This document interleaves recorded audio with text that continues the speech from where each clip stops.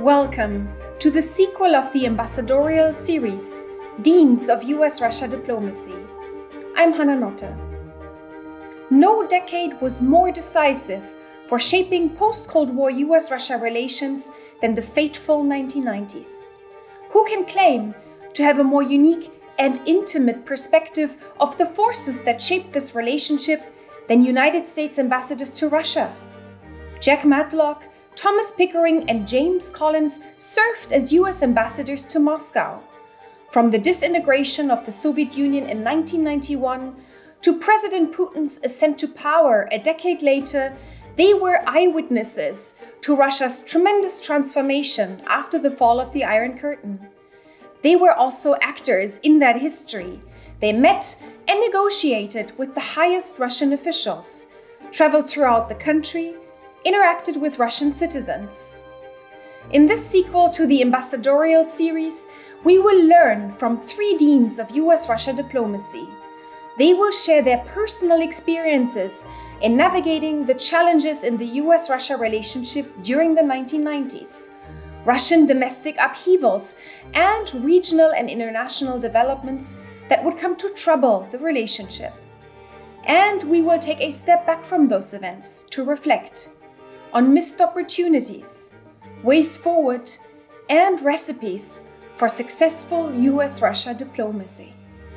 Just after Christmas, I called on um, Ambassador Falin, who then was head of the Central Committee, uh, uh, that he was known as sort of Mr. Germany as far as their foreign policy is concerned. And I asked him, I said, I understand you uh, that you think this is a question for the future. His answer was, We thought it was a question for the future, but it's clear now it's one that's going to be resolved now. As history turned out, Ambassador Jack Matlock was to be the last ambassador of the United States to the USSR. He served in Moscow from 1987 until 1991. Ambassador Matlock arrived in Moscow as a seasoned career diplomat, fluent in the Russian language and well versed in Russian history, literature, and culture. And it's from that perspective that he counseled Presidents Reagan and Bush. This, as the Cold War was coming to an end, the Berlin Wall was dismantled, and Mikhail Gorbachev was fundamentally changing the Soviet Union. Ambassador Jack Matlock, thank you so much for talking with us today in this sequel to the first ambassadorial series. It's a real honor for me to speak with you today, having read your books, having heard you speak many times in the past on US Russian relations. After your distinguished career serving the US government, including as ambassador in the Soviet Union and in Czechoslovakia, you actually wrote quite extensively about Soviet US and then Russian US relations as well including in your books Autopsy of an Empire, Reagan and Gorbachev, and then also your latest book, Superpower Illusions, which have given me great inspiration for this conversation today. So thank you again for doing this. Well, thank you. And thank you for reading my books uh, before asking your question. It makes them much more pertinent. Ambassador Matlock, let us start with history. In your books, you draw attention to three crucial events towards the late 1980s and early 1990s, which you believe have been frequently misconstrued in terms of their causes, their interrelation, and in fact, who should take credit for them. And those events are the end of the Cold War, the end of communism as a system of rule in the USSR, and the collapse of the Soviet Union itself. And in fact, uh, nowadays, it seems to me indeed that the term end of the Cold War is used interchangeably with the collapse of the Soviet Union. So I'd like to ask you what, in your view, gave rise to this intellectual laziness? Why does it matter? And which misreadings of history have been most consequential for the trajectory of the US Russia relationship since then? You know, that's an excellent question and, and one that I, I ask myself at times. But I think that the reason so many people, there are several reasons so many people are confused, I think, and look at uh, the breakup of the Soviet Union as the end of the Cold War. Now, the Cold War ended before that. And um, as I watch that process, but as I think about the perceptions, almost no one among the specialists uh, predicted that the Soviet Union would break up. Uh, many doubted that Gorbachev's reforms were real, uh, even as they became more and more clear that they were. And the events moved so rapidly, particularly between 1987 and 1991, that it was very hard, even for specialists, to keep up. And for the general population, all of these steps seem to have come as a surprise. But it seemed to me very clear that the rationale for the Cold War ended uh, by uh, December 1988, uh, specifically when uh, Gorbachev, in effect, he gave up the Marxian class struggle uh, theory as a basis of Soviet foreign policy. After that, it was just a matter of cooperating to clean up the many of the uh, the results of the Cold War. And then, because the Cold War was over and pressure on the Soviet Union, uh, external pressure decreased, it gave Gorbachev a chance to try to reform the Soviet system. Uh, that got out of hand when too many in the Communist Party began to resist him. And yet he had sufficient control of the party because of tradition that despite everybody's expectation, he actually acted to take the party out of total control of the country, which he needed to do if it was to reform.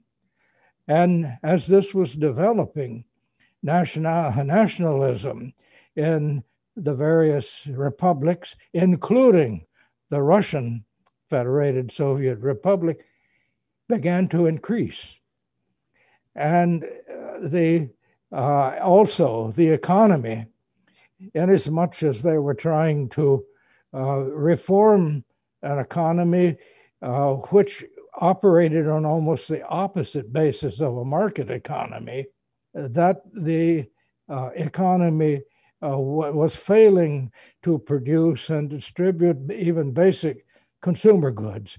So they had an economic crisis for the average people, a rise in individual nationalisms, um, and uh, just as you might say the controls, the force controls, were being taken off.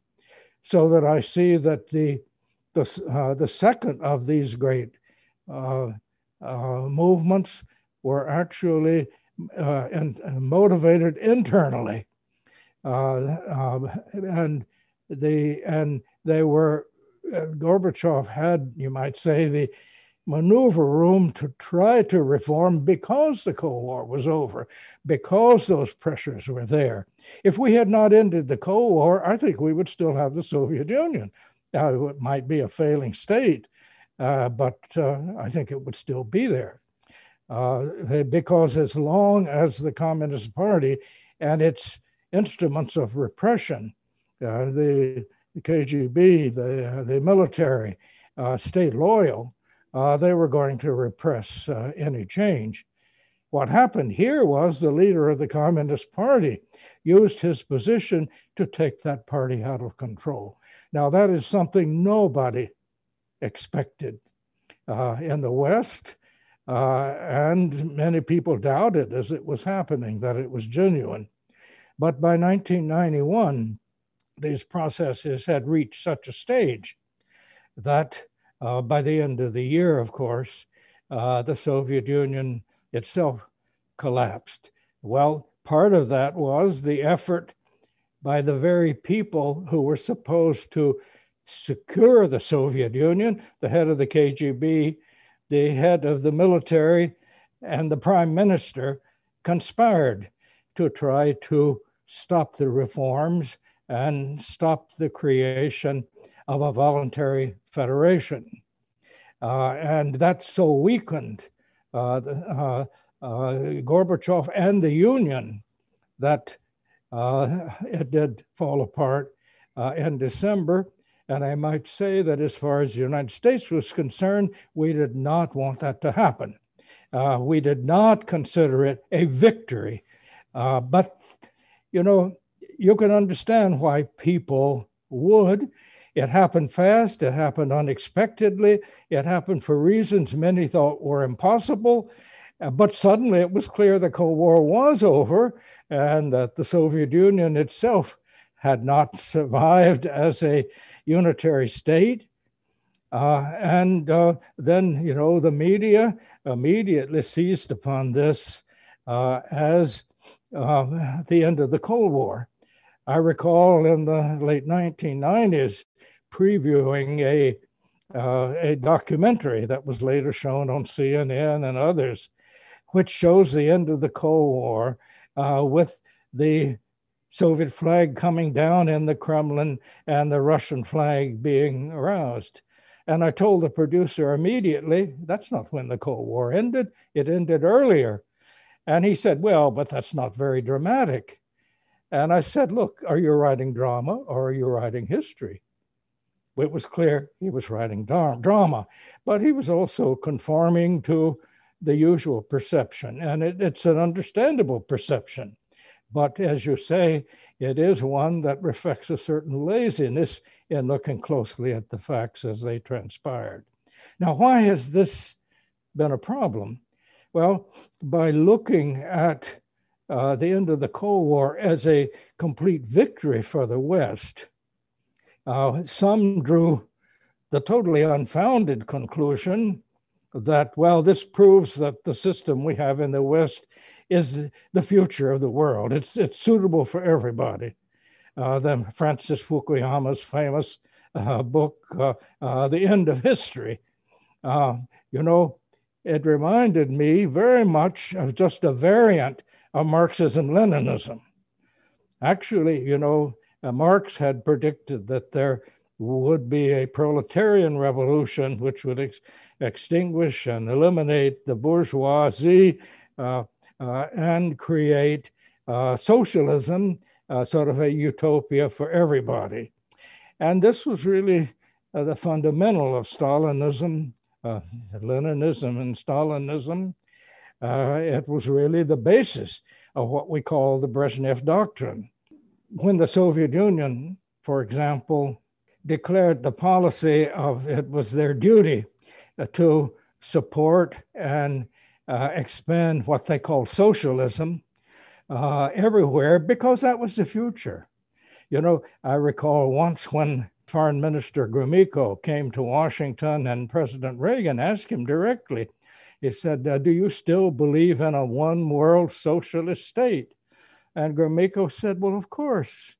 He said, But if I believe in that, it's like believing that tomorrow uh, the sun will rise in the east and set in the west. It's not something we have to help, but it, others said differently. Uh, when Reagan, in his first visit with Gorbachev, uh, complained about some of the military interventions in Africa and Latin America, Gorbachev answered, We're simply doing our international duty uh, that, uh, you know, and get used to it. this is the future. Well, you know, he changed his mind on that, thank goodness. But my point is that uh, by uh, saying that, well, democracy, and I have to put that in quotes because we never defined it precisely, is the future and it is our duty to spread it. And what's the problem with that? Well, first of all, there's no evidence that the same form of government is going to suit everybody in the world with such different histories, customs, uh, social structures. Um, in fact, uh, the, the evidence, the pragmatic evidence, is to the contrary.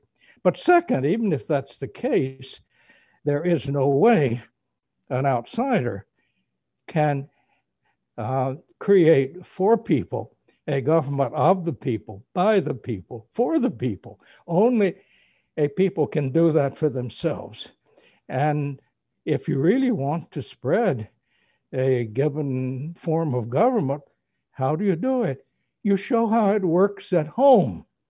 And I'll tell you, it's not working very well at home today, maybe precisely because we have presumed that we can, by using force, by using sanctions, uh, that we can change other people's political systems. I don't think that's possible. And though I know that the people who believe this uh, believe it, and it is, uh, uh but I think uh, it creates more problems uh, than it solves. so I think that by misunderstanding how the Cold War ended, by treating in particular Russia as a defeated country, in effect without any national interests, um, uh, that uh, we are have helped create and exacerbate the problems we have today. This was fascinating, Ambassador. So many important elements uh, and moments here. Uh, I do want to come back to some of those er, uh, later in the conversation, um, particularly the Brezhnev doctrine and the notion of democracy promotion. For the moment, I want to stick a little bit with the end of the Cold War and the early 1990s um, and ask you about the implications of the collapse of the Soviet Union for the Soviet people I read Autopsy of an Empire, and you start that book with a fascinating anecdote. You recount the 25th of December 1991. You, you mentioned it just now. Um, the day that Gorbachev announced live on TV that essentially the Soviet Union was gone. And you then used the example of Gorbachev's assistant, a young Soviet diplomat from Georgia, to point to the cognitive dissonance that millions of people must have experienced at the time.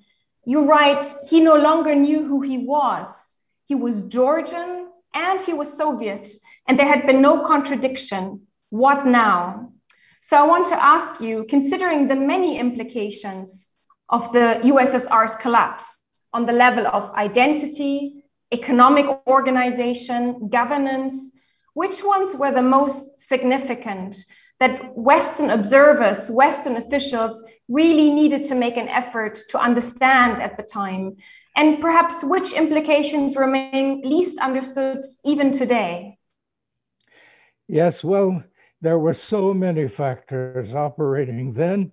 And frankly, I don't think there's a way you can usefully quantify uh, to say, well, certainly the economic collapse was extremely important everywhere. The rise of nationalist feeling uh, based upon um, one's uh, uh, native language primarily uh, was certainly quite perceptible in all, including uh, in, uh, in Russia. but, and I would say that um, for different individuals, different things were more important. And extreme nationalists would sometimes uh, um, simply use economic uh, difficulties uh, for their own ends. Others, uh, for them, the economic difficulties would be paramount. Uh, and uh, so that different people had different priorities, had different push and uh, I think Gorbachev thought, and actually many other people thought, that during the uh, 70 years of Soviet rule, they had created, you might say, a new Soviet person, one sort of based more on ideology uh, than on uh, ethnicity. It turned out that was not the case. Uh, the ideology sort of uh, crumbled under them. Uh, people had already most stopped believing in it, uh, even while it was the official thing. But you know, this leaves people with a very difficult thing to face, and that is who are we? Who are we? Are we Russians or are we something broader and different? Well, we're facing this in the United States today. We should be able to understand. Uh, I mean, uh, we too, you know, some of our groups for a long time uh, had been at least implicitly white supremacists. Now that's no longer working in the United States, and it is a traumatic experience for many of us defining, you know, what is an American? Uh, as a white American, uh, somehow superior or more authentic uh, than a black or brown. Um, and so, you know, I think that uh, we need to understand that uh, there were many different pressures uh, pushing probably the most prominent uh, of these in um, not only the national republics, but in the Russian Republic itself, was a feeling of ethnic exclusivity. And, you know, we can see that since the breakup of the Soviet Union, in many of the republics, the dominant nationality has suppressed its minorities. In other words, it's unwilling to give its minorities uh, the sort of, of equal rights uh, that they have. I mean, Georgia was attacking uh, South Ossetia even while the Soviet Union still existed, uh, for example. Uh, and of course, we had the uh, Armenian, Azerbaijani um, fighting even before the Soviet Union collapsed. And these things all got worse after it did. So, um, you know, there were so many forces going on at the same time that Gorbachev was having to deal with at a totally different international situation. After all, he began to encourage reforms in Eastern Europe. And when these reforms led to a downfall of all the communist governments, he accepted and even welcomed that. Now, that was something that, again, nobody had predicted in the past, uh, though it was actually in the Soviet interest to do so. Because, you know, nothing weakens a country more than trying to control people that don't want you to control them. That's something we don't understand today in so many issues. I would say Ukraine is better off without Crimea because most of the people in Crimea prefer to be in Russia. And yet, pardon me for jumping ahead so much, but uh, the problem here is the one I'm pointing to is uh, the, the idea that so many have that, uh, well, you know, we, we define our identity uh, on the basis of ethnicity rather than a broader concept. Uh, and this is something that, quite frankly, I think most of our countries are going through, but it was forced upon the people of the former Soviet Union very rapidly and uh, in ways that uh, some were hurt more than others. Any time of rapid social change, this is going to be the case. They're going to be losers, they're going to be winners. And if they fight too much among them, everybody turns out to be a loser.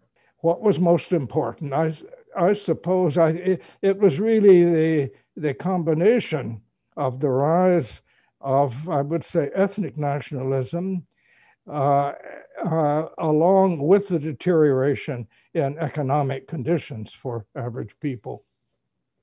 Thank you for that, Ambassador. Um, I do want to come to a slightly different topic, which is that of arms control and nuclear weapons. Yes. Ronald Reagan dreamt of a world free of nuclear weapons. And as you note in your book, he was also deeply affected by the Chernobyl disaster of 1986. Yet at the same time, he launched the Strategic Defense Initiative, or SDI, in 1983. I would like to ask you two questions on this, if I may.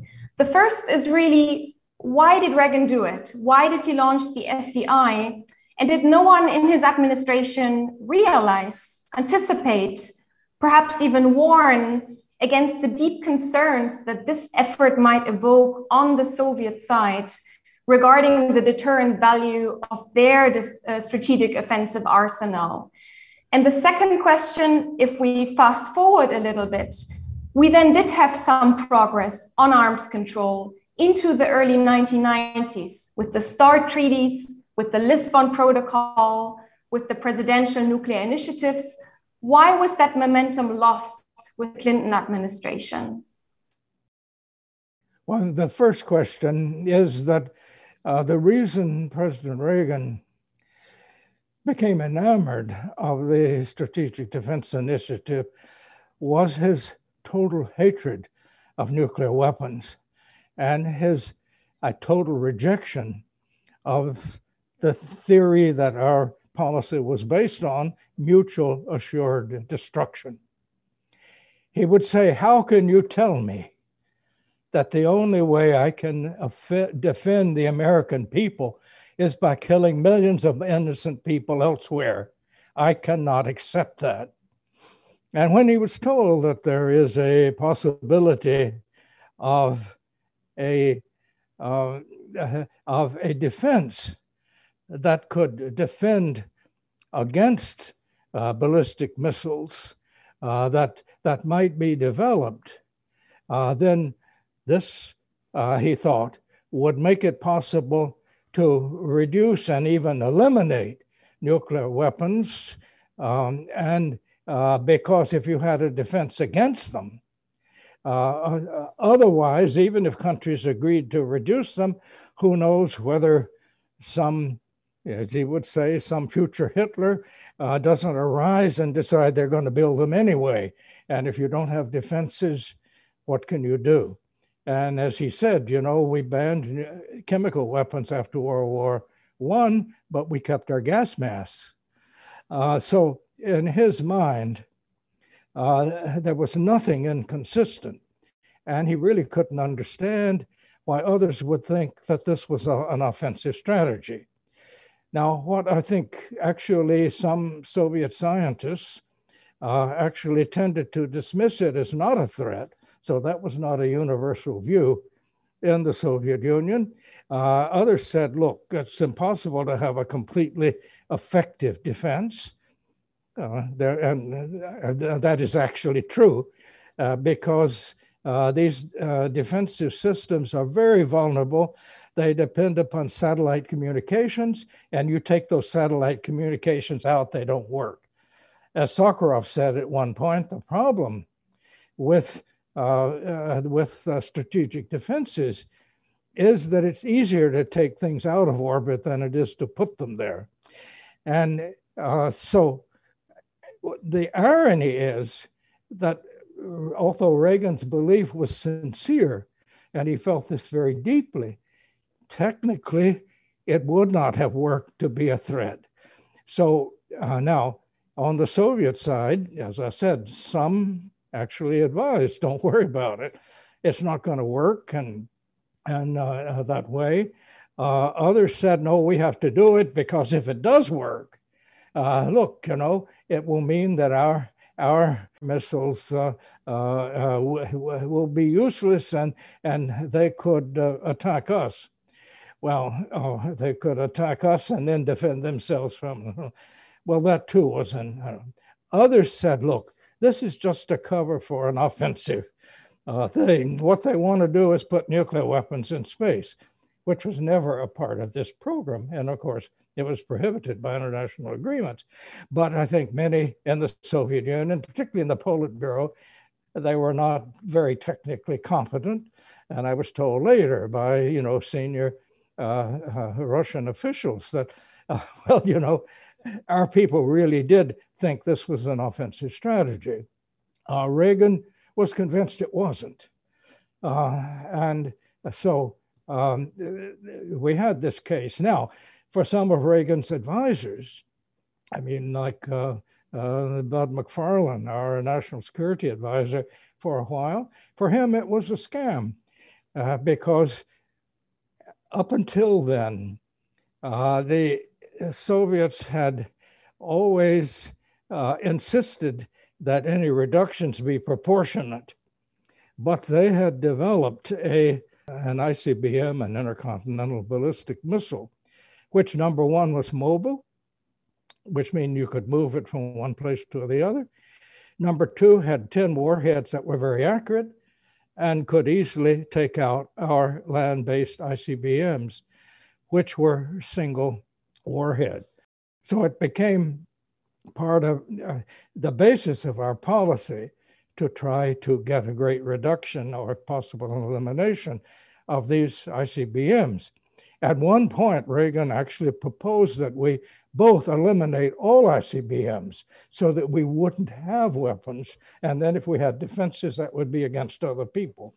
Uh, Gorbachev never accepted that, never even took it seriously. But point is that um, uh, that uh, we were worried about the theoretical possibility that their ICBMs, which we could not target in advance because they were mobile, uh, that were sufficient to take out our land based deterrent because they were all in silos, had a single warhead. So then the first plan was okay, so we'll build a mobile ICBM uh, the one we planned had only three warheads, not 10, because uh, the Soviets had greater lift capacity than we did. You know, Americans always seem to assume that, well, we have superior technology and we'll keep that superiority. That, of course, has been disproved time and time and time again. Uh, but uh, and this is another example of it because in our first arms control agreements, um, our military wanted to preserve the right to MIRV, that is, to put multiple warheads, because we were heading that technology. 10 years later, the Soviets were heading that technology and we wanted to reduce or ban them. so, um, uh, the, uh, this shows so both sides were making miscalculations. However, we found that it was going to be impossible for us to develop and deploy a mobile ICBM uh, uh, in the United States because it had to be passed by Congress. And who in the world is going to vote to have ICBMs moved on our railways or our reinforced superhighways? Nobody. I mean, you don't want them in your backyard. So it was politically impossible for us to develop a counterpart. And so McFarlane said, okay, we've got to fool them. We'll say we'll build a defense that negates yours uh, if we don't reduce them. So in that case, uh, uh, he looked at it as, uh, in effect, a scam. Uh, uh, and, and at one point before Reykjavik, and at Reykjavik, Reagan actually said, okay, let's both develop defenses and agree to eliminate our ballistic missiles, not just the intercontinental, but all ballistic missiles. And Gorbachev never considered that. Uh, he thought, uh, we, how would we ever get agreement to do that? Well, it would have taken Reagan overruling most of his military people to do it, but he was capable of that while he you know, was in office. In any event, I'm rambling on a lot, but just to point out that these issues were not all that simple, that motivations differed on both sides, that in fact, in Reagan's mind, and in fact, the Strategic Defense Initiative was not a threat to the Soviet Union. One can understand, and uh, if there's not any basic trust between them, there would be those who uh, would um, uh, uh doubt that and uh, suspect that. Uh, but the, that's why he hung on so long. And uh, let me say frankly that if we had not had the problem of what they call the Iran Contra uh, controversy just after the Reykjavik meeting, we were on the verge of accepting Gorbachev's proposal that he made at Reykjavik. And if we had not lost our senior officials who backed that and the Iran Contra dispute, we very likely would have accepted Gorbachev's proposal uh, to uh, uh, keep SDI in laboratories for 10 years. That was my recommendation when I got back to Washington. It was accepted by the National Security Advisor, but he got up in, all, Iran Contra, got dismissed. And um, it shows how, you know, domestic politics, other issues often intrude. So, bottom line, uh, SDI cannot work as it was envisioned uh, by um, uh, Reagan, but it was not a threat uh, to others as he envisioned it.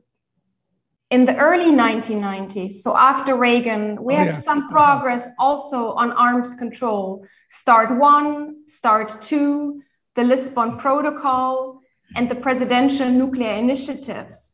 But then this momentum gets lost during the Clinton administration. Why was that? Why was that momentum lost on arms control? Well, you know, that's a question for the people uh, in uh, the Clinton administration. It was a great disappointment, as far as I was concerned, uh, that we didn't proceed. I recall strongly recommending that we uh, come to an agreement with uh, then the Russian Federation uh, to eliminate all short range nuclear missiles from Europe. And um, I know the man before he was defense secretary, but uh, later he was uh, uh, Clinton's defense secretary, said, Oh, we can't do that. the West Europeans, our allies, would, would not agree to that. And I said, Are you telling me that they're going to insist we keep weapons in Europe that, if they are used, are going to be used against them? I mean, short range nuclear weapons in Europe made no sense at all. But the Clinton administration was concentrating on other things. And I must say, the people who earlier in the Democratic Party had been strong on disarmament were not very prominent in the Clinton administration.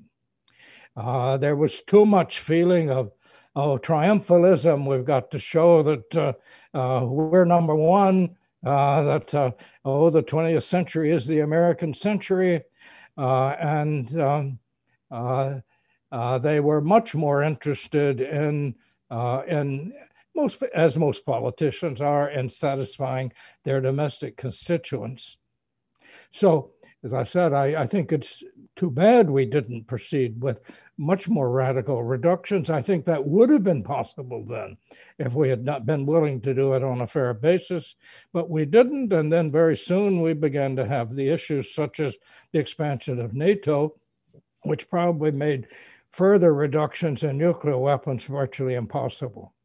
This is great, very clear, Ambassador. Um, I want to stay with the early 90s for, for one other question and come to Saddam Hussein's invasion of Kuwait in August 1990, which provided one of the first tests of the developing US and then still Soviet uh, relationship under Gorbachev, especially if you consider that Saddam's Iraq had been a long standing Soviet ally.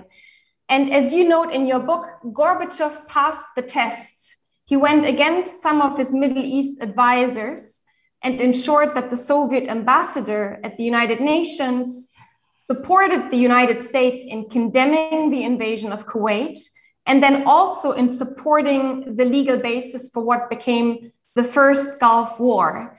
So I want to ask you, Ambassador, um, Ambassador Matlock, how was Gorbachev convinced to go against his advisors?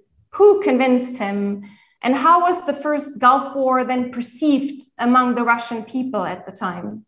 Well, first of all, Gorbachev didn't go against his principal advisor, uh, the Edward Shevardnadze. It was Edward Shevardnadze that agreed with us that if one country invades another, you've got to oppose that. And as he would say to his own specialists, if your friend makes a mistake, you must not defend him. Uh, and the fact is, this was blatant aggression. Uh, and uh, we had the vote, you know, of the UN, uh, and we had the vote of almost every Arab country except uh, maybe Jordan uh, to go after Saddam Hussein. And this is one of the most basic I would say, rules of international. One country doesn't simply invade and take over another without any cause whatsoever. Uh, now, this was a difficult decision for Gorbachev because, as you say, many of his advisors were still looking as if, uh, you know, the whole matter of the Middle East was a competition between uh, the Soviet Union and, and the West. Uh, and actually, the problems there were much more insoluble. Uh, many of them if it had been possible for the two of us to solve them, we probably would have, but it wasn't. Uh, but anyway, uh, what he saw was at that time, um, he was then increasingly in need of American support. He was having more and more difficulties at home. Uh, and as a matter of fact, you know, um, uh, the uh, and Bush uh, actually met him in Helsinki to discuss that issue and got his commitment uh, at least to abstain in the Security Council, not necessarily vote, but abstain to make it possible. And China also uh, agreed to, because this was a, an issue of blatant aggression. I would also say that uh, Bush, when we carried out the Gulf War, which we did with cooperation with about 45 countries, uh, once he liberated Kuwait, he stopped. He didn't go to Baghdad. He didn't take out Saddam Hussein. He did exactly what he had been authorized by the international community to do. Uh, and I would also say that Gorbachev had a lot of simultaneous problems. Uh, um, and uh, the country was beginning to come apart. He already had uh, the violence in the South Caucasus. In January, one of the times when just as the war was beginning to start and there were votes in the UN, was when there was an attack on the television tower in Vilnius, uh, Lithuania, uh, and uh, the problems for that. And so, in fact, I think that it, although some of his advisors uh, uh, wanted him to stay with, uh, you know, Saddam Hussein. Uh, our position was okay. Uh, let him leave Kuwait, and we'll stand down. I mean, Saddam Hussein, and and I think the Soviets tried to convince him, but he didn't.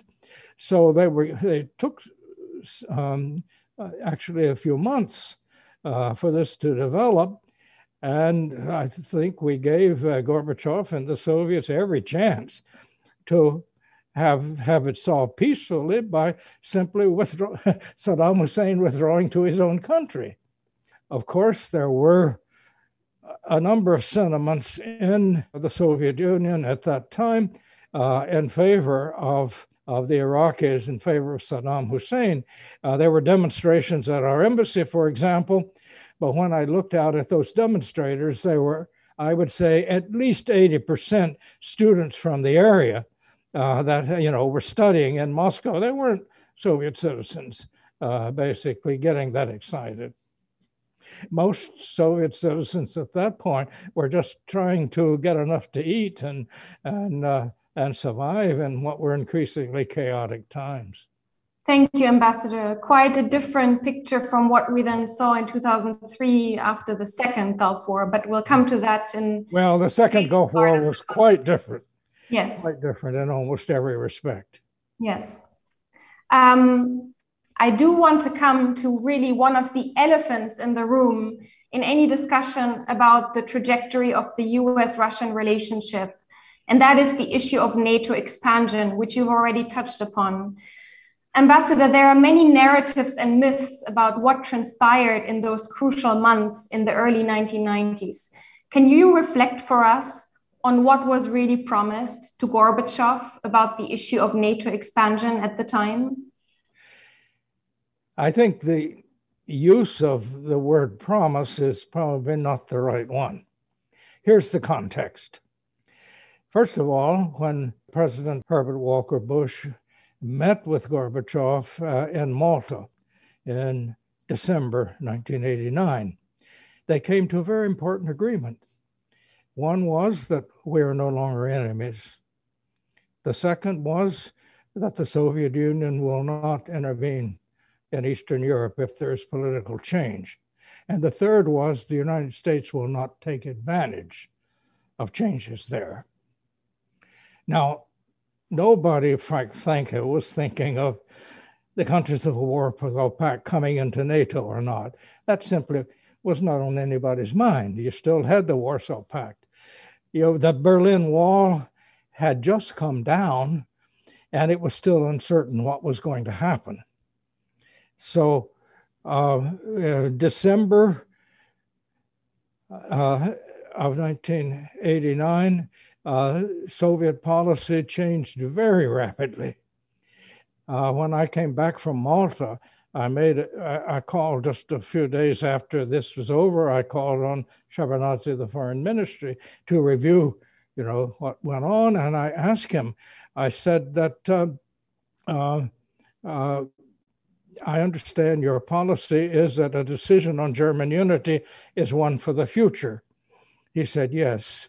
Uh, we know that's a question that has to be resolved eventually, uh, but it's one that will be resolved in the future. We have great confidence that the new regime in East Germany is determined to keep its statehood. This is the, at the end of the first week in December. Just after Christmas, I called on um, Ambassador Falin, who then was head of the Central Committee, uh, uh, that he was known as sort of Mr. Germany as far as their foreign policy is concerned. And I asked him, I said, I understand you uh, that you think this is a question for the future. His answer was, we thought it was a question for the future, but it's clear now it's one that's going to be resolved now. So they were very quickly seeing what was happening. And uh, now in February, fairly early February, I think around the 10th and 11th, um, Secretary of State Baker came to Moscow. And at that point, we were trying to set up a framework for dealing with the question of German unity. And uh, we had proposed, with the cooperation of the West Germans, that it be resolved in a format of two plus four. Two meaning that the two German states would negotiate and try to find an agreement, and four meaning that the four victorious powers from World War II would then, in effect, review and either accept or not uh, the uh, decision the Germans made. And I know that uh, uh when this was first floated, uh, with Foreign Minister Shevardnadze uh, at a meeting in Canada in January 90. Um, Shevardnadze's first answer was, why not four plus two? And uh, Baker said, you know, that may work in arithmetic, but it doesn't work in politics. We have to let the Germans make this decision. And uh, then this was accepted. Now, and at that point, uh, the Soviet position was okay, if the Germans insisting on unifying, there's one thing for sure. A united Germany will have to leave NATO uh, for us to approve. So when Baker came to Moscow in February, he was trying to convince Gorbachev that it was actually in the Soviet interest for a united Germany to remain in NATO. And after having, he had consulted with the uh, German Foreign Minister Genscher on his way to Moscow, and he, he proposed an idea. He prefaced it by saying, You don't have to give me an answer right now, but I want to tell you something to, you should think about. And the next sentence was, and I heard this so many times from him, I can quote it literally. Yeah. Uh, assuming there is no expansion of NATO jurisdiction to the east, not one inch. Wouldn't it be better? And then he went on to explain the advantages of having a united Germany and NATO, of keeping them, their military united in one, in keeping an American role in military stability. Gorbachev answered immediately, I'll think about it. And he said, obviously, any expansion of NATO jurisdiction to the east is uh, unacceptable. But I understand what you're saying otherwise.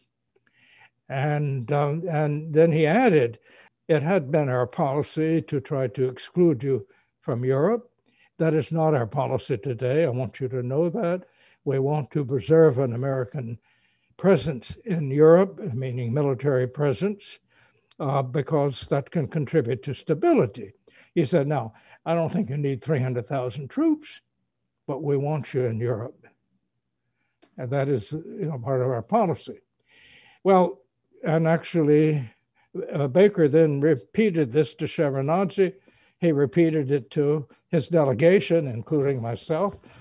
In fact, as we rode in the car from the meeting, um, he recounted it to me and said, What do you think? And I said, He's going to buy because the case you make is a very good case. Now, when Baker got back to Washington, the lawyers said, No, wait, you can't include West Germany as part of Germany and exclude it from NATO jurisdiction if Germany remains in NATO. That's a legal impossibility. So this question was not raised again, and it there was no guarantee in the treaty, uh, the two plus four treaty that was finally signed in the fall. Uh, and as a matter of fact, uh, Soviet negotiators have said since then they never thought they had a guarantee that NATO would not expand. They did have a guarantee that there would be no foreign, that is, non German troops in the territory of East Germany and that nuclear weapons would never be uh, deployed there.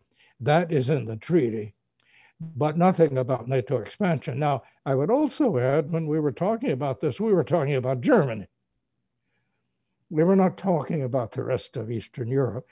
Now, obviously, if anybody had asked me in the summer of 1990, does that mean that there would be no expansion into uh, Eastern Europe, I would have said, well, of course.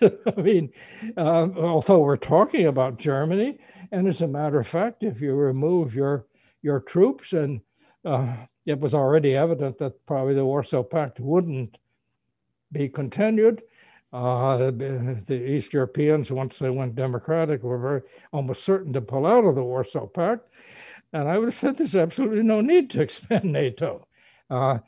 Uh, and uh, I would have considered that not a legal commitment because it wasn't, uh, but one that, particularly in the context of the agreement, which was a formal one, we will not take advantage because nobody could look at the changes of Eastern Europe and then the subsequent.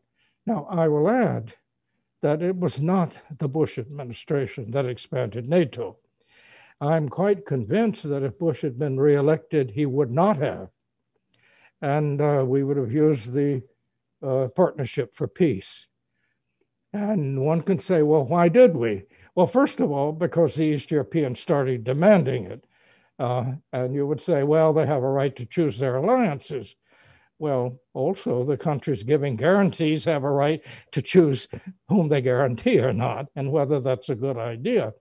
So, this idea that somehow a country has a right to join an alliance when the alliance hasn't necessarily invited them uh, is a rather, I would say, absurd idea. But the pressure did come from Eastern Europe, um, and uh, uh, and uh, was supported by many of our particularly smaller NATO allies. The real reason that Clinton went for it was domestic politics. I testified in Congress against uh, NATO expansion, saying it would be a great mistake, and that if it continued, uh, that certainly it would have to stop before uh, it reached uh, countries like Ukraine and Georgia, that this would be unacceptable to any Russian government, and that furthermore, that the expansion of NATO would undermine any chance for the development of democracy in Russia. Uh, and George Kennan had also said it was, you know, uh, the greatest um, geopolitical mistake of that uh, decade. And I think he was right. But why? when I came out of that testimony, a couple of uh, people who were observing said, Jack, why are you fighting against this? And I said, because I think it's a bad idea. They said, look, uh, Clinton wants to get reelected. He needs Pennsylvania, Michigan, uh, Illinois. Uh, they all have a very strong East European. Uh, many of these had become Reagan Democrats on East West issues. They are insisting that uh, Ukraine expand to include Poland uh, and eventually Ukraine. Uh, and uh, uh, that so Clinton he needs those to get reelected and so on. Well, these are different issues now. But the fact is that I think the concluding issue there was domestic politics and really not an understanding of, uh, you might say, how best to handle the international relations. At that time, and I would say further on this matter of NATO expansion, that I think that the Clinton administration was quite disingenuous Clinton personally told Yeltsin that the Partnership for Peace would be a substitute for NATO expansion. And Yeltsin said, That's great. It's a brilliant idea. At the very same time, our ambassador was instructed to tell the Poles this is the first step toward NATO membership. So we were playing, I must say, to my dismay, uh, uh, duplicitous diplomacy at the time and being motivated largely by domestic issues, not what would really preserve a, uh, a Europe whole and free, which was the aim of, uh, uh, you know, of our policy in the first Bush administration. And when we said Europe whole and free, that includes Russia. It's not just all except Russia. Ambassador, fascinating. On the issue of a Europe whole and free, I do have one follow up question to all you just said. I was intrigued by an argument that you make in your book, which is that in fact there was no need for NATO to expand eastward, because as you say, there were other ways those countries concerned could have been reassured and protected without seeming to redivide Europe to Russia's disadvantage.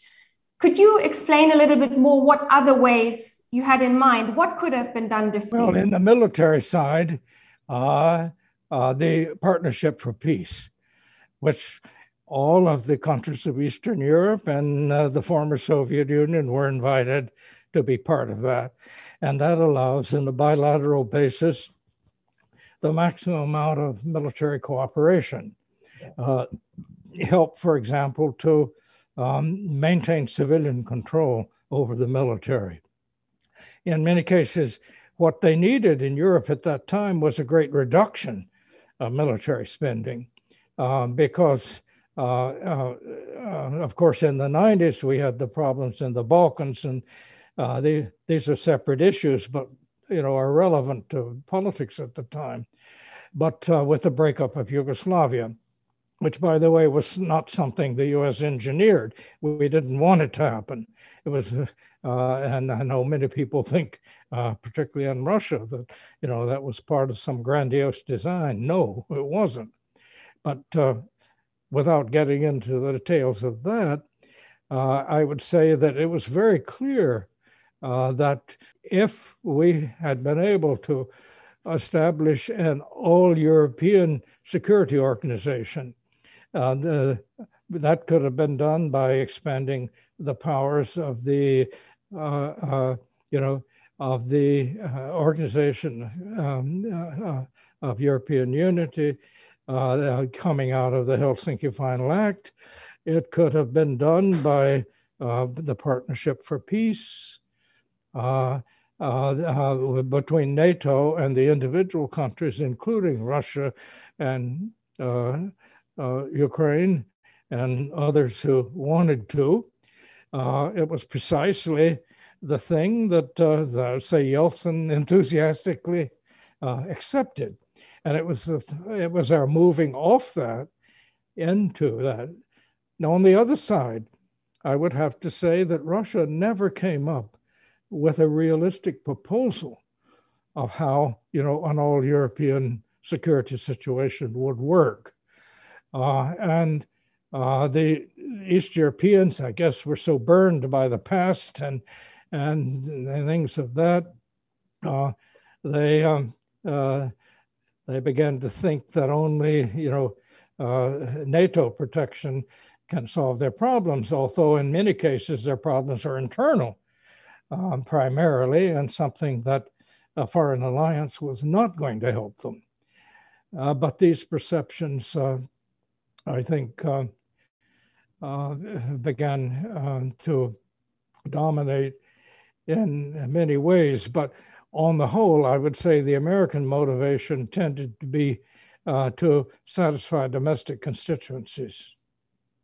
And I, I will continue with a, a, question that's related really to the issue of, of NATO expansion, and to me seems equally central when we debate US Russian relations.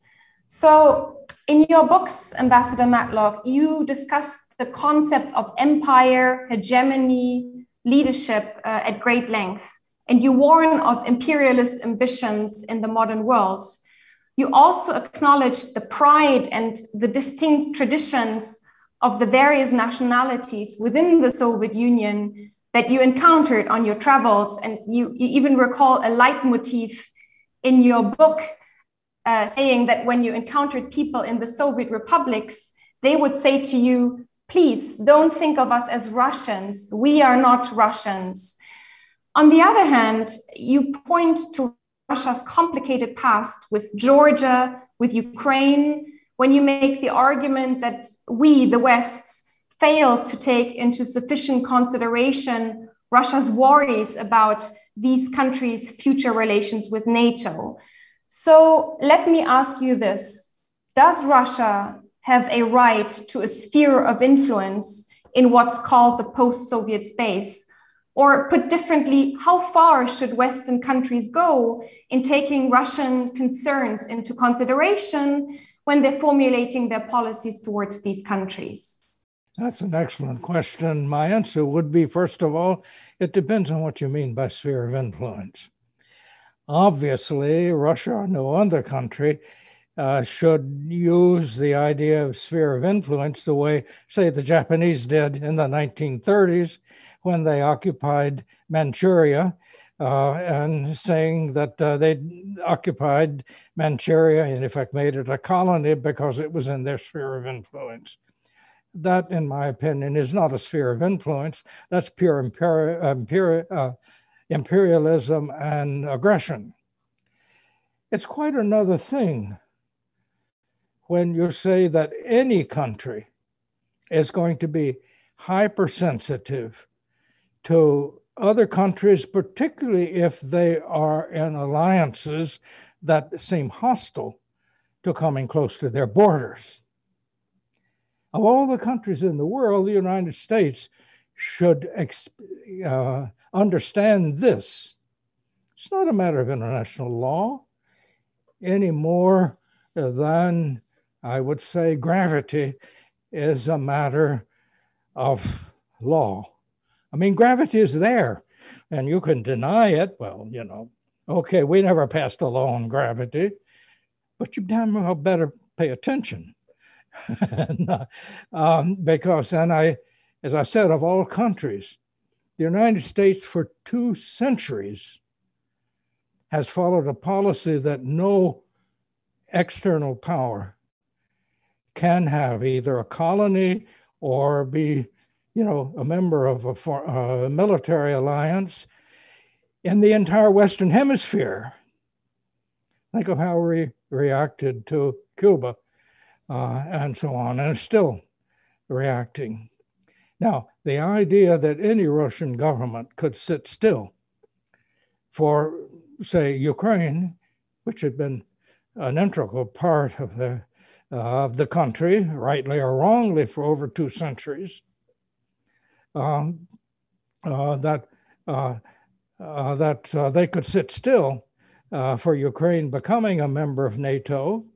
Uh, among other things, it would eliminate one of their most important naval bases, which they legally hold on that territory in, of Crimea.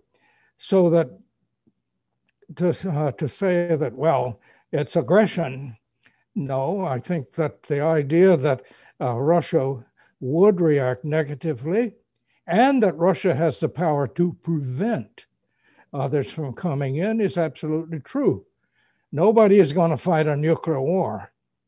And I would say that never, and in my opinion, in the history of the United States or Western Europe, has any of our security depended on precisely where the line is between Ukraine and Russia. That is a very difficult, a very emotional issue, and one that I think that foreign intervention has created more problems, though it is basically an internal problem. So you can say they have no right to a sphere of influence. They are going to exercise a sphere of influence if they feel threatened, and any other government would also do so. And I think we have to understand that and not keep thinking that things are abstract. Oh, we have a right to do this, we have a right to do that. Rights? There is no international authority that creates co-called political rights. Uh, and it seems to me that uh, uh, the idea, second, I would say, as far as NATO expansion is concerned, neither Ukraine nor Georgia would qualify because NATO supposedly never takes in a country which has internal problems. And the problems with the Donbass, the problems with Crimea, the problems uh, with North and South Ossetia of Abkhazia. These uh, are internal problems. And the idea being, oh, yes, if they're in NATO, Russia wouldn't interfere. It's not so much Russian interference, it is the local problem. And yes, Russia has supported one side. But on the other hand, uh, I would think of there's hardly another country you can think of that would not react if it feels its own security is ruined. And one of the basic problem has been the development over the last 25 years of the feeling that Russia is an adversary or an enemy or something like that. There is no reason in the world to create that atmosphere, but step by step we have created it. Their reaction to our steps have intensified it, and it is reaching really absurd levels today. Uh, and at a time when we are trying to deal uh, with a pandemic, at a time when we are increasingly being uh, affected by uh, climate change, by global warming, at a time when uh, many of our countries are, are trying to cope with uh, the floods of refugees and so on, to be disputing, fighting, using resources over uh, these, you might say, border issues um, by methods which actually exacerbate them rather than solve them, I find totally irrational. We have far, far more common interests with Russia and with China than we have differences. And why our politicians can't understand that is beyond me, but I attribute, you know, most of it to our own domestic political scene. And uh, I think this, unfortunately, it's true of most countries, uh, particularly large ones, that uh, domestic politics trumps everything.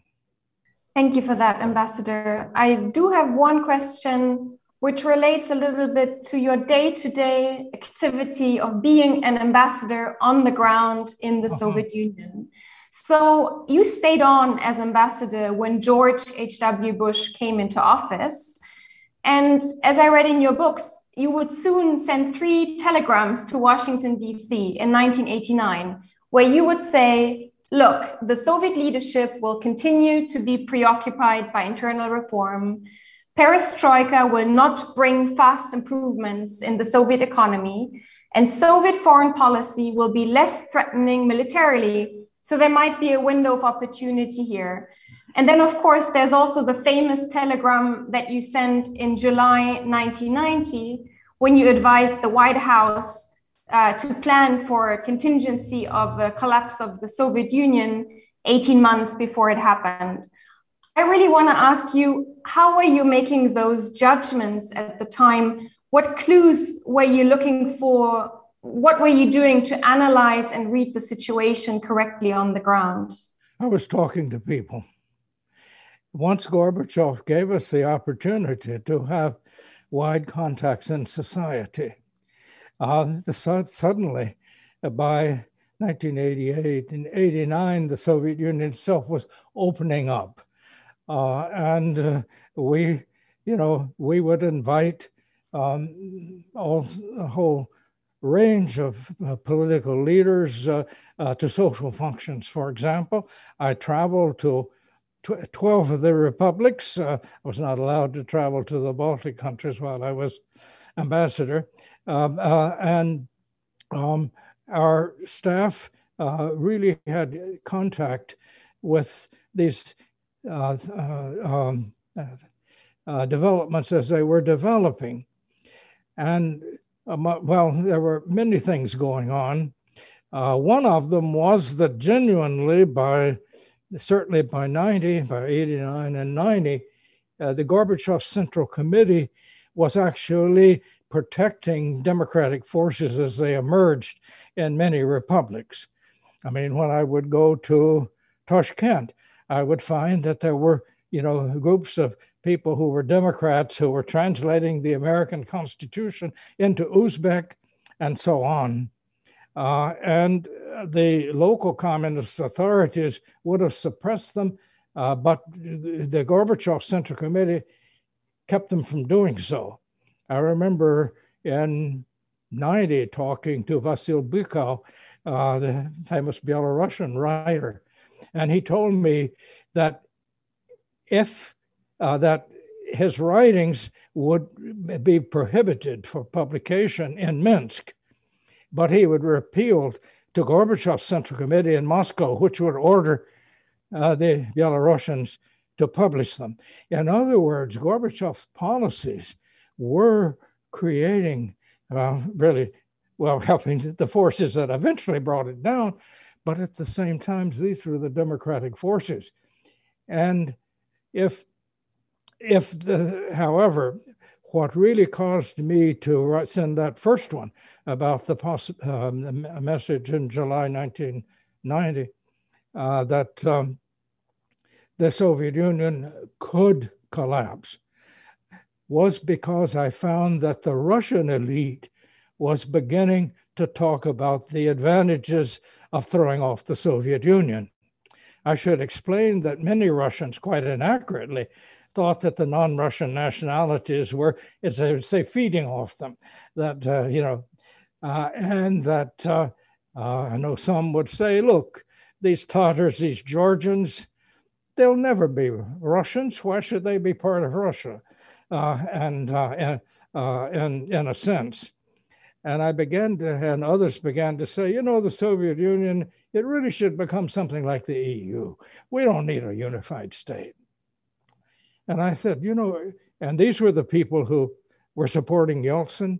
These were the people who were beginning to win elections uh, when they had them. And I said, look, if the Russian elite no longer wants to preserve the Soviet Union, certainly, you know, well, we knew the three Baltic states uh, were going to insist on going. Uh, but, uh, uh you know, Georgia was almost out of Moscow's control Uh, uh, already by that time. And my, my conclusion was look, uh, as the country opens up and becomes more democratic, if there is not a strong push by the Russian intelligentsia, the Russian informers, to keep the Union together, they're not going to be able to. And that's why I would say, you know, by the way, you didn't ask the question, but I will point it out. We did not have one single spy in the Soviet Union the years I was ambassador. We got all of our information by talking to people, by looking It was not a matter of intelligence. But I am convinced that we understood better than Gorbachev himself did what the problems were because the KGB was giving him distorted reports. They were saying, oh, this Landsbergis in Lithuania, he's just a rabble rouser. He doesn't have any support. So, another conclusion to this is that uh, we did not reach those conclusions through espionage. We did it the old fashioned way. We simply looked and particularly listened to what was going on. And this concludes part one of our conversation with Ambassador Jack Matlock. Please watch part two to hear more from the ambassador on missed opportunities, ways forward, and recipes for successful US Russia diplomacy.